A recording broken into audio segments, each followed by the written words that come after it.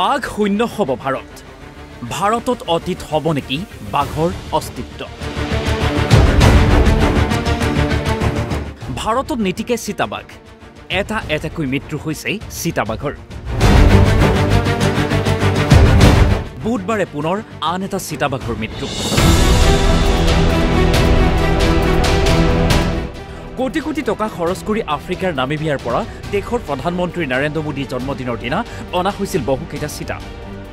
মুকলি কৰা হৈছিল মধ্যপ্ৰদেশৰ কোনো ৰাষ্ট্ৰীয় উদ্যানত। কিন্তু ৰোগ হওক বা অন্যান্য কাৰণত এটা এটাকৈ মৃত্যু হৈছে চিতাবাঘ। উল্লেখ্য যে নামিবিয়াৰ পৰা অনা চৈধ্যটা চিতাবাঘৰ মাত্ৰ পাঁচ মাহতে মৃত্যু হৈছে নটা চিতাবাঘৰ। কিয়নো মধ্যপ্ৰদেশৰ বাতাবৰণ কিংবা জলবায়ুৰ ফলত কোনো ৰাষ্ট্ৰীয় উদ্যানত বেছিদিন চিতাবাঘকেইটা জীয়াই থাকিব নোৱাৰিব বুলি বহুজনে সন্দেহ প্ৰকাশ কৰিছে। অৱশ্যে পৰৱৰ্তী পৰ্যায়ত সেই কথা প্ৰমাণিতও হৈছে। ইতিমধ্যে বিভিন্ন ৰোগজনিত কাৰণত নটা চিতাবাঘৰ অকাল মৃত্যু হৈছে। চিতাবাঘৰ অকাল মৃত্যুৰ সন্দৰ্ভত দেশৰ সৰ্বোচ্চ ন্যায়ালয়ে মাত মাতিছিল আৰু প্ৰশ্ন কৰিছিল ভাৰত চৰকাৰক।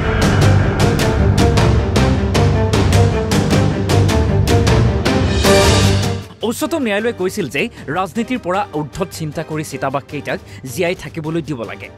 কিয়নো মধ্যপ্ৰদেশৰ জলবায়ুৰ লগত চিতাবাঘ জীয়াই থকাটো সম্ভৱ নহয়।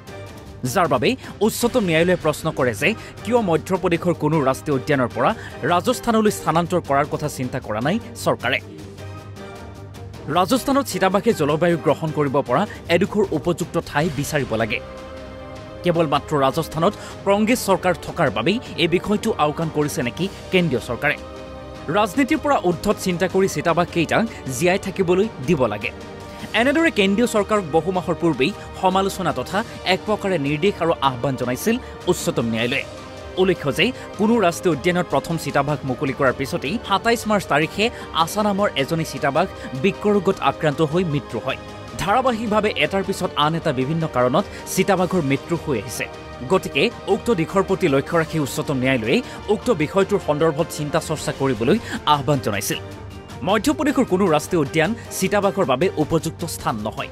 তাৰ জলবায়ু সহজভাৱেই ল'ব পৰা নাই চিতাবাঘে যাৰ ফলত এটা এটাকৈ পুনৰ নিঃশেষ হৈ পৰিব পাৰে চিতাবাঘ গতিকে ৰাজস্থানৰ মুকুন্দ ৰাষ্ট্ৰীয় উদ্যানলৈ স্থানান্তৰ কৰিব লাগে।